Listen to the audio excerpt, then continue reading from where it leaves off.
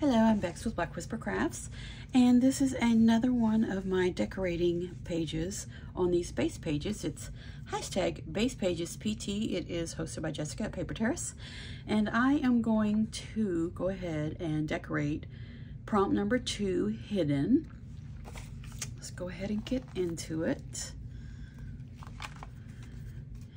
Here is one of my hidden. I only did two of them but I had some papers picked out and it is this right here, this doily.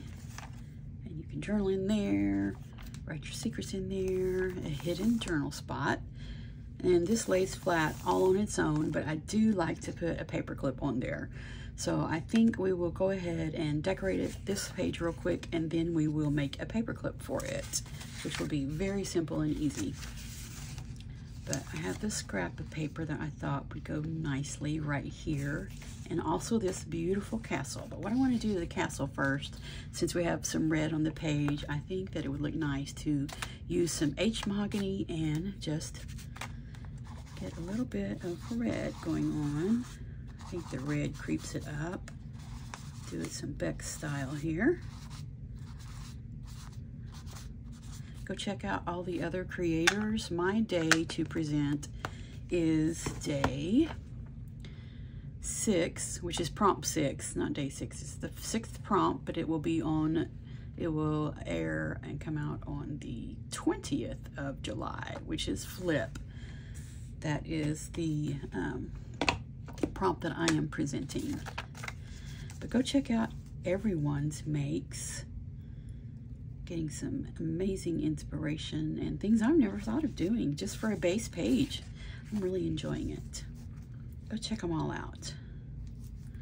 So we're going to do this right here. Let's go ahead and tear it out. It's going to strategically tear around. I don't want it to be too big or too heavy because this is a doily but I think it does help to lay down flat if you do put a couple of layers of paper on the top. Let's get this torn. I like all the edges to be torn. There we go. That is really cute. I like that. I'm going to save that black piece of paper. Okay, let's see. How do we want... Because that pretty much fills it up. So we just need a small really small piece of this. I'm going to go ahead and glue this down and then we'll tear out around it. That will work.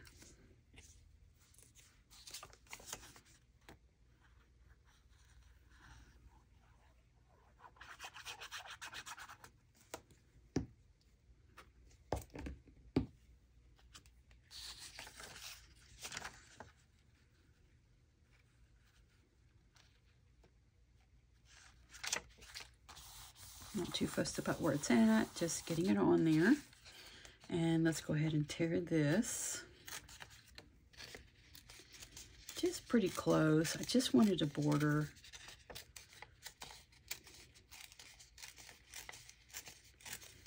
I think we might ink the edges in black. That might show it better.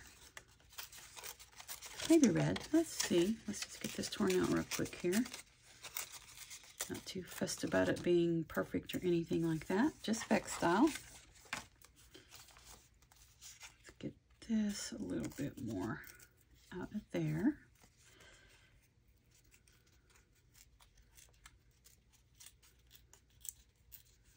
There we go. I think that looks nice. Uh, black or red? I'm thinking red, really. Or, wait a minute, let's try this. Hmm, no, I'm going to wait. I'm not going to ink that. I'm going to do something else. I think we need to stamp an image on here. I think that will be cool. Let's get the stamping platform down here.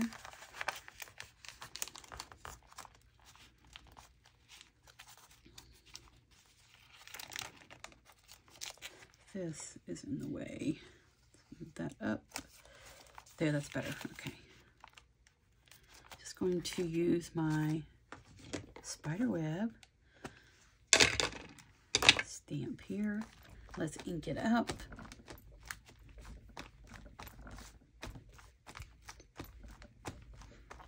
There, that's good. I'm going to stand up so I can reach it better.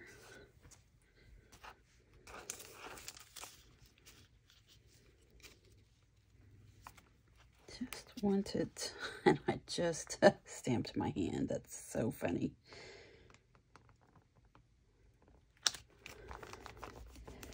Just to look a little bit different. Okay, how is that? That is amazing. I love it. Let's see how that will look right there.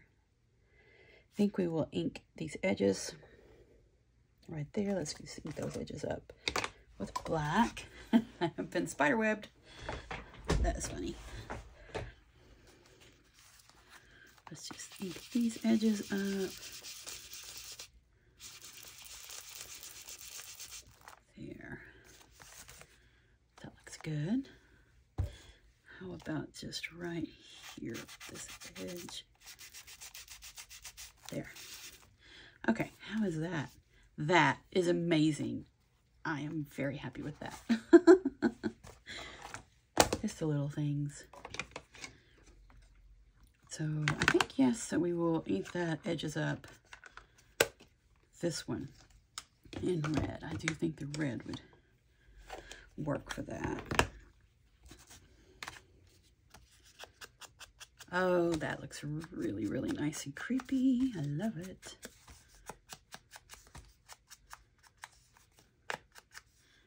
There. I am really happy about that. Just brings the whole page together.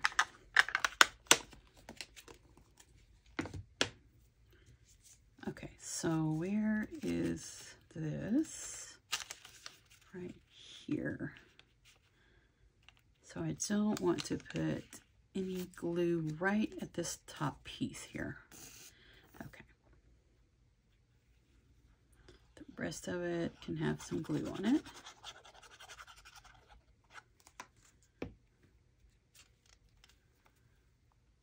This looks really cool. Very pleased with it.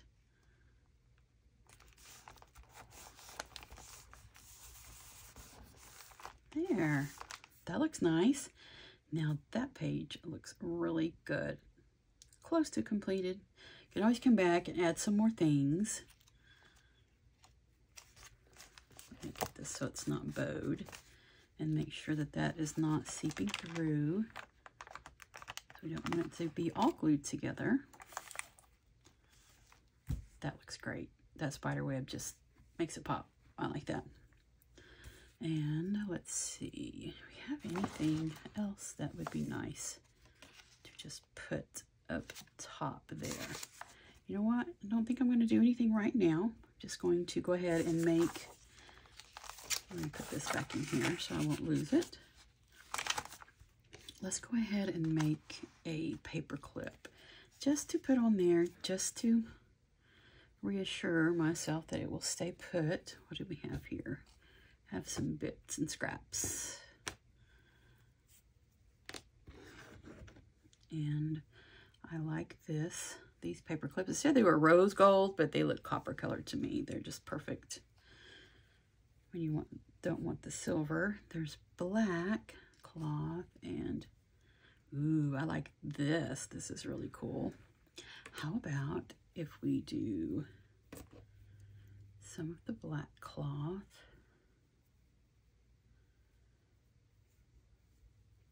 and then some of this creepy looking stuff. That's funny, but I really like it.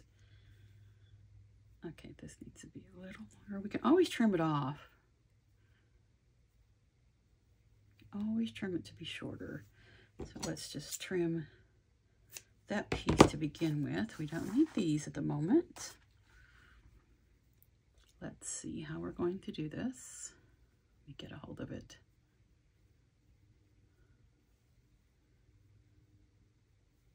going to go ahead and just tie it.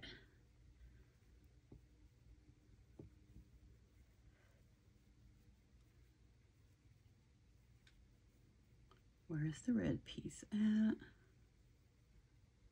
Lost the red piece. There it is. There we go. Just going, well, sketch be a little bit longer on this end. There. Okay, what I'm going to do is pop some glue right there on top of the paper clip. So when I tighten this up, there'll be glue on the paper clip and it and the trims.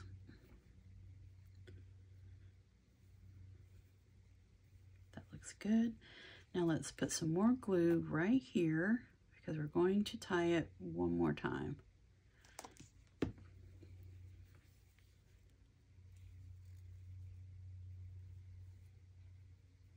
I'm going to poke my tweezers through there so I can grab that easily. Pull it through. Okay.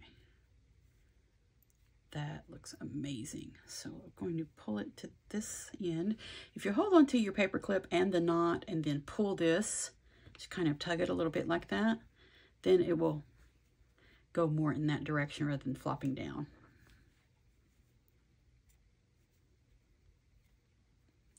Sure it's tight. I'm going to pop a little bit more glue right there on the top.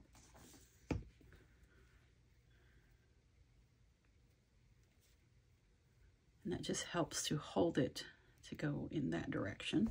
Just for a moment, art glitter glue does not take long to dry at all. There. Just so, just to train it to go in the direction I want it to go in. And this will look so pretty just right there. Just holding that together. And I'm not fussed at all about the paper clips showing. I love paper clips. But that looks so pretty. Let's see, how long do we want it to be? Oh, probably about right there. There we go. That is so pretty. Okay, this flip not flip, this hidden journal spot is completed. And you could put it farther up. It doesn't really matter. It's just, just to look pretty. There we go. That looks pretty. I like it. Okay. Go on. And here's the back one. And this was the fold out of a square.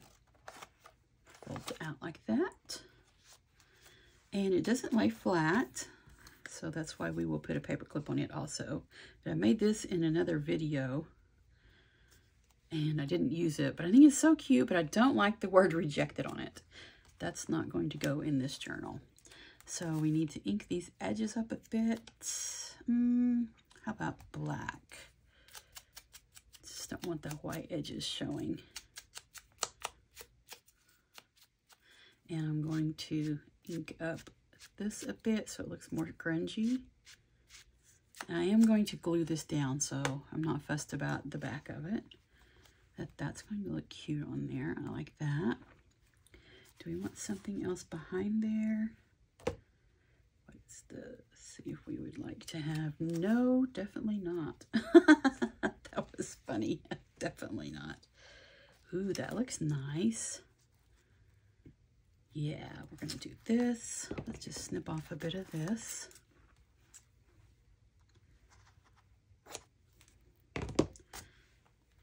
And I'm going to go ahead and glue this down just so it has a chance to adhere. And dry, it'll dry pretty quickly. let's go ahead and get this popped on here. That looks so cool.